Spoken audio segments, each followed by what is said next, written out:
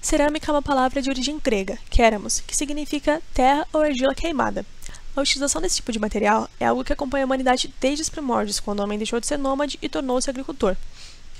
E a evolução do manuseio da cerâmica é, é algo que ocorreu juntamente com a evolução da humanidade, tanto que foi descoberto o silício, que é muito utilizado na produção de chips, circuitos elétricos e componentes eletrônicos no geral.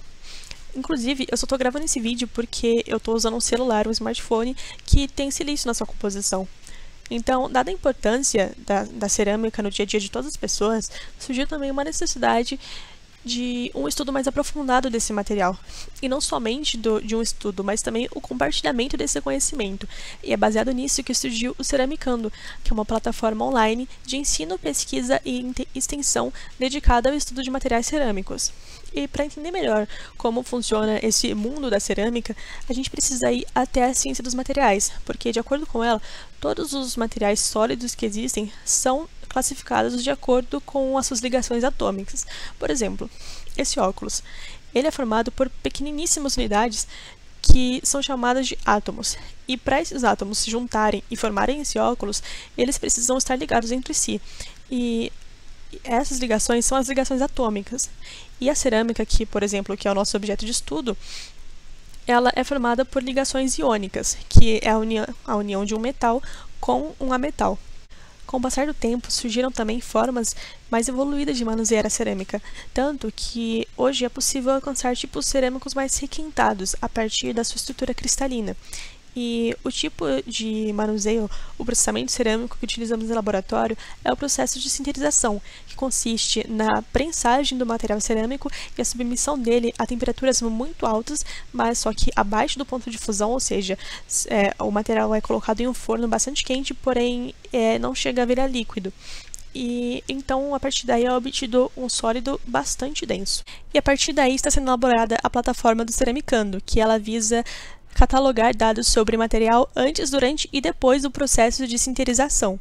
E dessa forma, a plataforma vai devolver ao pesquisador, ao usuário, é, informações sobre sinterizações previamente cadastradas no banco de dados e também gráficos que comparem a experiência que está sendo feita com experiências já gravadas.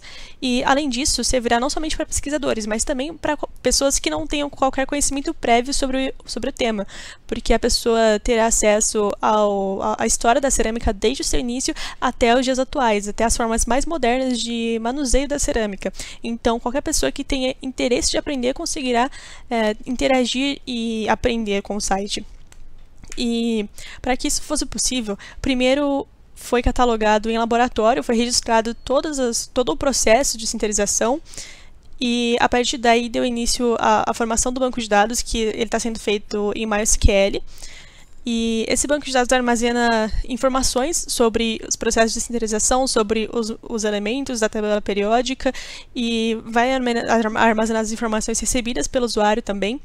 E o que vai fazer essa interação entre o usuário e o banco de dados é a linguagem de programação PHP, e no, no, layout, no desenvolvimento da parte visual do site, está sendo usado HTML, CSS e JavaScript. O HTML ele é usado para marcar a estrutura do site. Já o CSS ele é utilizado para a, a, parte estética do site.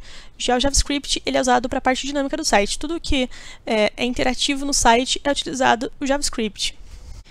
E o que temos pronto até agora é a parte visual do site. Ainda tem alguns pontos a serem acrescentados, mas as partes principais já estão funcionando e o banco de dados já está quase pronto, já está praticamente inteiro modelado e a parte de programação está ainda em fase de desenvolvimento.